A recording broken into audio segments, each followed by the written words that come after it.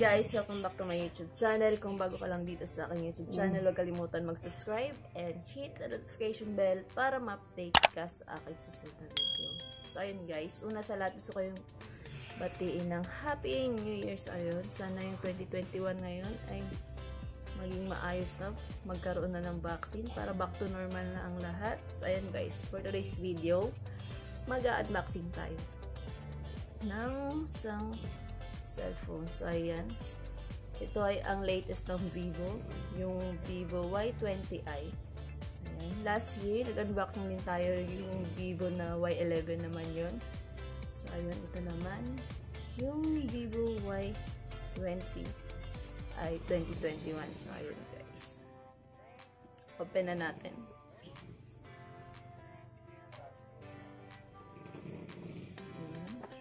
Ayun nga pala, meron siyang 4 GB RAM and 64 GB ROM.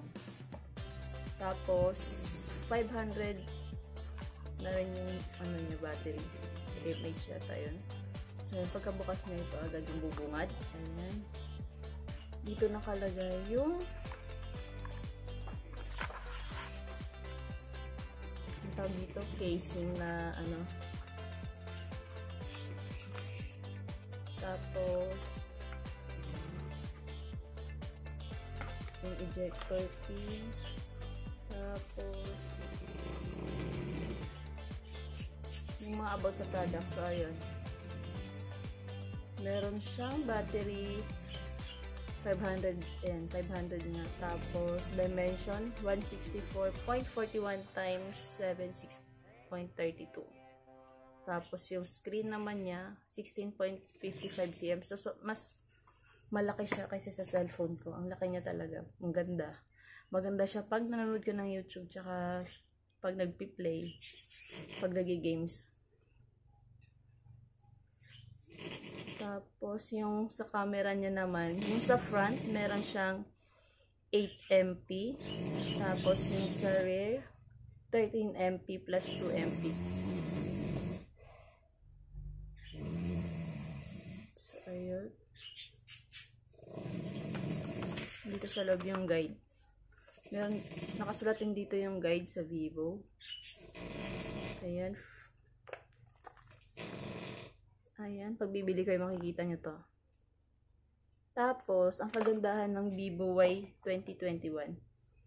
Yung, yung ano niya, screen, tawag doon, yung pag tinatap mo sa gilid, hindi siya sa back kasi last, yung Vivo Y11, tapos yung Vivo Y17, yung fingerprint nila, andito. Ito, dito siya sa gilid. Ayan.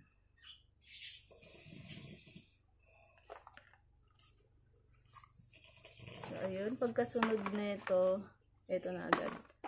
Ito na yung phone natin. Busan natin lang sobrang ano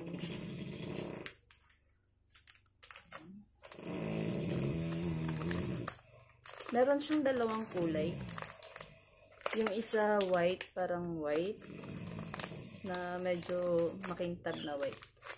Tapos ito parang blue yung taas tapos medyo purple din sa baba. Dark purple. Dark blue parang dark violet. So pinitin na natin. Ayaw niya matanggal Ayan. Kasi yung camera. Ayan guys. Ang ganda ng camera niya. Meron siyang tatlong camera. Dalawa lang yata. Parang dual lang. Dual camera. Yung isa design lang pala. Tadan. Kala ko tatlo. Ayan. Sobrang laki niya talaga guys. Mas malaki siya sa cellphone ko. Ang ganda. Ganda pa ng kulay. Tapos, ayan, buksan natin. Ito yung ano, fingerprint scanner. Pag pinindot na yan, dito siya. Tapos, i-register nyo lang yung fingerprint. Tapos, ayan yung loob.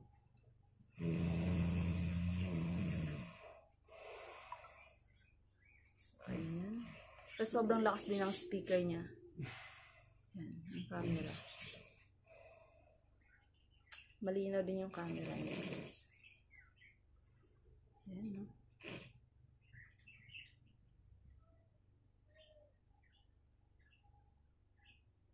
Ah, ang puti ko pa, dagdag. May dagdag, ano pa siya, magical skin. Ano?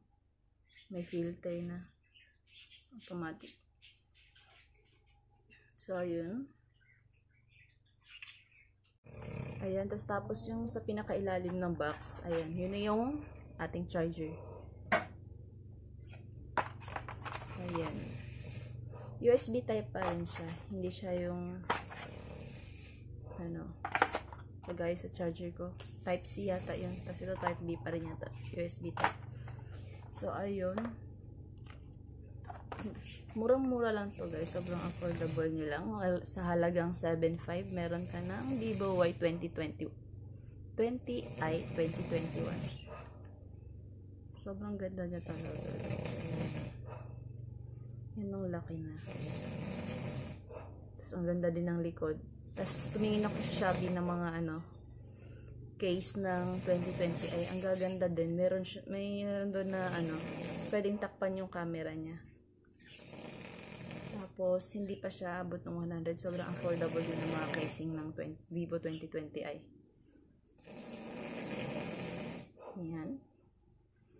So, yun guys, ayun na lang yung boses ko kasi tulog pa yung mga tao dito. Tapos, ayan, tulog din yung baby ko. Ayan, kinakapag, ano ako, ayan. Hi, baby dos. Kinakapag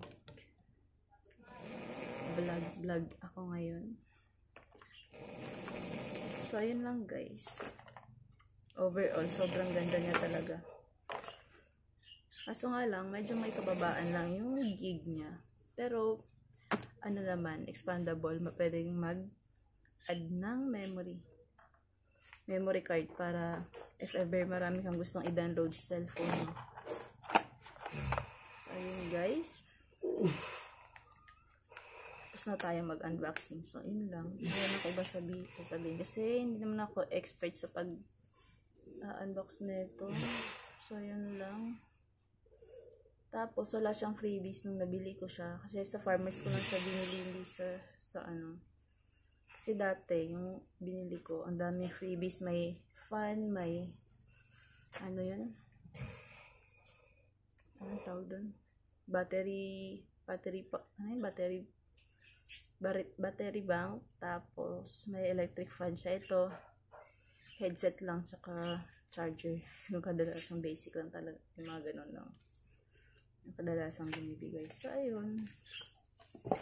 Tapos na tayo mag-unboxing. Babalik ko na yung cellphone. Nga pala, yung cellphone to ay kay Bonsi. Regalo namin ni, sa kanya. Kasi yung cellphone niya na iPhone, sira na, bilis na maglobat. Tapos, blurred na yung ano, screen naghihiraman na lang kaming dalawa ng cellphone. So, yun. Sa mga pamasko ni Uno, na ipon. Kaya bumili kami ng cellphone para kay Bonsi. Kasi kailangan niya to pag mag-send-send kami ng price sa palaro niya sa chess. Ayan, guys. Clear lang. Tapos, ayan, may family picture kami. Tadan!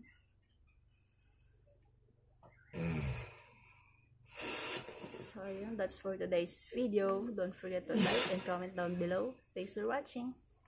Bye-bye. Hindi na natin tatagalan.